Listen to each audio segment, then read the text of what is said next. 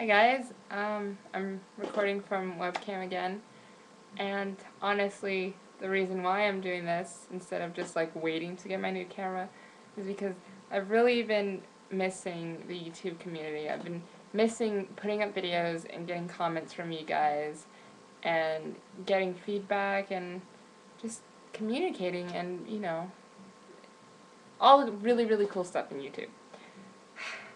This is what sucks about webcam. I, I can't, like, edit and take out whatever doesn't make it, any sense.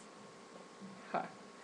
But anywho, um, I'm going to be getting a camera around September, around the beginning of September. I'm not exactly sure the date yet.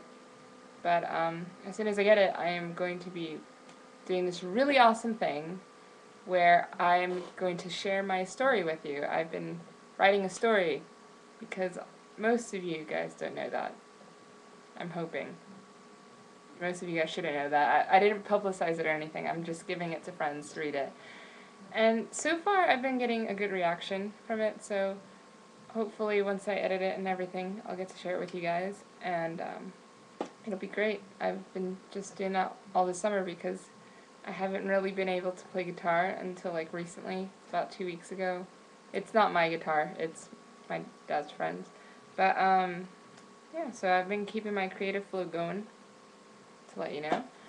And I'm hoping that I can come back to YouTube and feel welcome. I know that I never really left, but like I feel like my creativity side kind of went bye-bye around beta time. so yeah, I I really want to go back to the good old days, but we'll see what happens. So yeah, this is, this is what's up with me, and I can't really say much other than this because people don't want to watch videos that go on and on and on.